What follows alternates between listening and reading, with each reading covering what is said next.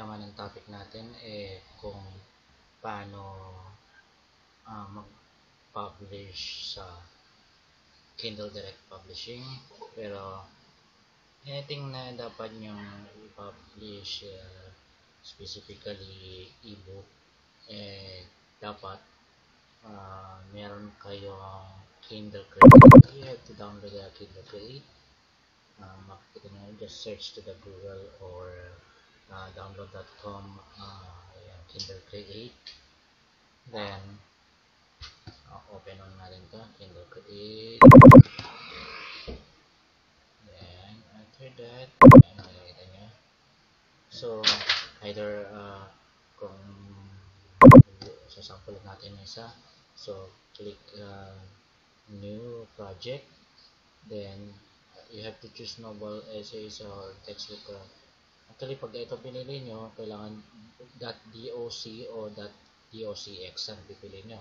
Once kapag ito naman pinili nyo pwede siyang PDF so it depends kasi bakit pag PDF hindi na siya magagalaw actually. Whatever your layout.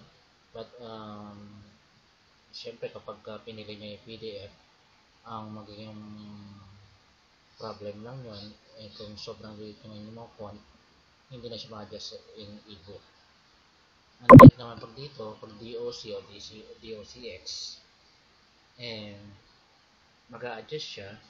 However uh, kapag yung page 1 mo eh may nasa page 1 of course. Tapos yung part of your page 1 ay mapupunta sa page 2 so choose a file click tayo ng sample lang then for example yun isa sa mga ginagawa ko para so far um, and open. Yan yan nag-importing and uh, converting your document na? So as you show the content screen ayan, you can easily create front and back matter space like the page. So yan we have to wait for it it depends kung gaano kabilis ang inyong uh, computer. So may may so may hit eh. okay lang natin may magbabago na rito. Actually habang uh, nag import siya you can uh, do some other tasks ng inyong computer? Pwede nyo i-minimize ito or mag-open up lang. But uh, for the benefit of our viewers here uh, hindi natin gagawin yung iba para makita nyo po ano yung mga pinapakita nitong Kindle Crave na to. So let's wait for a few more seconds.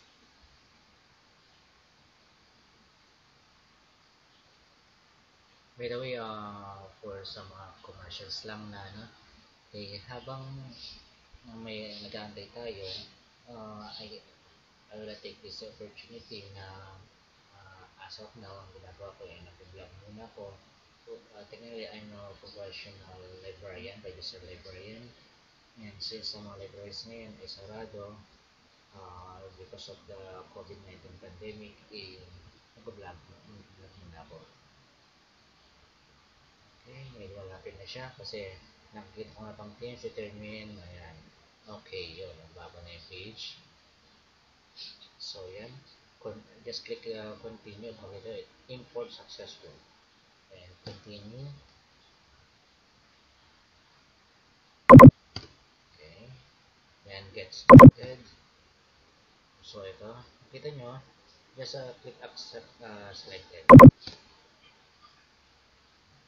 Okay, so probably siyempre naka-layout ito sa sa Word. Mas maganda i-set mo na ang inyong layout ng 6 inches by 9 inches para once it get accepted the ebook, yung Kindle Direct Publishing eh mag-a-ask din sa inyo if uh, you want a paperback edition.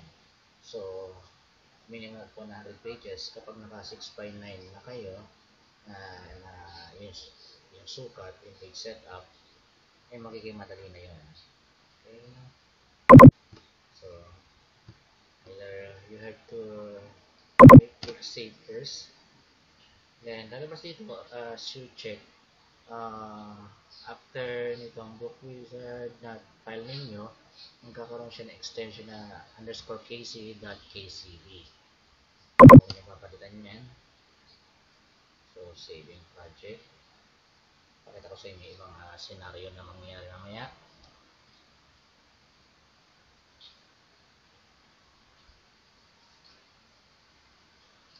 So, tingnan natin. Okay, so, then preview.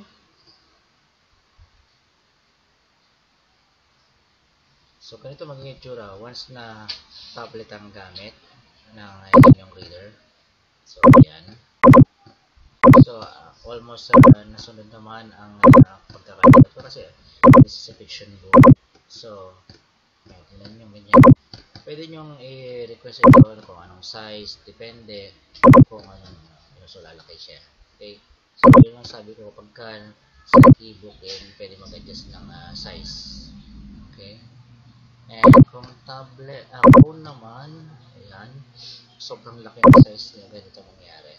So, para sa mga maliliit ang kung uh, hina yung paningin, uh, malabo paningin, harder. Mahiin ang pandinig, uh, pandinig pala yun. Okay, size, usually, and that's the size we are following, size 3.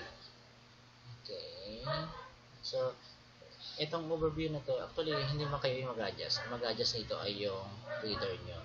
Pinapakita lang sa ito sa mga creator kung ano ang itsura niya para kung readable pa ba yung gawa ninyo. Sabihin, kapag nilagay sa size 3 at hindi naman halos mabasa na, then you need to adjust your uh, font number. Okay. Then, after that, click publish. Then, kapag click publish, as usual, magkakaroon ng KP, that KPF na extension, extension name, sa file name.